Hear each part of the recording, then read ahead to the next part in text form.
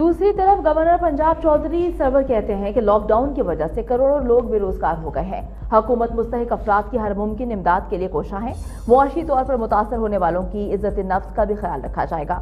मुश्किल हालात में आवाम को खिदमत के लिए सबको मैदान में आना चाहिए। मौजूदा सूरत हाल में पैरामेडिक स्टाफ और रजाकारों का किरदार काबिल तहसीन है।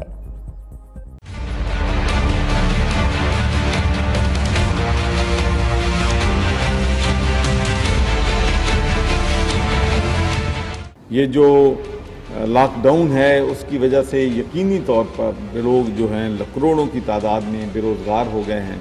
जो दिन रात मेहनत करते थे, अपनी रोज़ी कमाते थे, अपने बच्चों का पेट पालते थे, अब वो उनको जो डेली वेजेस है, वो नहीं मिल रही है। तो इसके लिए हुकूमत ने भी एक बहुत बड़ा मैं समझता हूँ कि पैकेज अनाउंस किया है, जिसमें एक अरब रुपया एक करोड़ बीस लाख खानदानों को ये जो है उनको पहुँचाया जा रहा है। और मैं आपको यकीन दिलाता हूँ कि इसमें किसी किस्म की भी न सियासत इन्वॉल्व है, न इसमें कोई फेवरेटिज्म इन्वॉल्व है। तो अपने आप को लोगों की जिंदगियाँ बेहतर बनाने के लिए, लोगों की मदद करने के लिए अपना टाइम अपनी एफर्ट अपनी एनर्जी और अपना पैसा जो है वो खर्च कर रहे हैं। तो एक तो हम हमेशा अपने डॉक्टर्स को नर्सेज को पैरामेडिक्स को तिबी अमला को खराज तहसीन पेश करते हैं कि वो फ्रंट लाइन पे अपनी जान को ख़तरे में डाल के हमारे लोगों की जानें बचाने में वो मसरूफ़। फिर हम डिस्ट्रिक्ट एडमिनिस्ट्रेशन वो भी फ्रंट लाइन पे आ, हमारी आ, मदद जो है वो कर रहे हैं। फिर मीडिया के लोग हैं